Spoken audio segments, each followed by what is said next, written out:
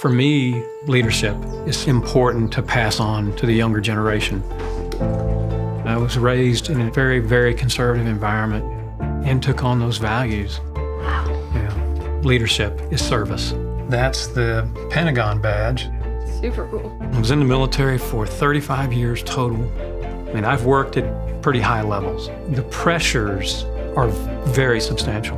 I want someone who has the character to make it through that. And when I look at Donald Trump, I hear him say he doesn't have to pay taxes because he's smart. That to me is offensive. When a leader is focused on themselves, the military won't work and our presidency will not work. For all of my life, I've been a Republican. Having looked at both candidates, I will be voting for Hillary Clinton. Local Voices is responsible for the content of this advertising.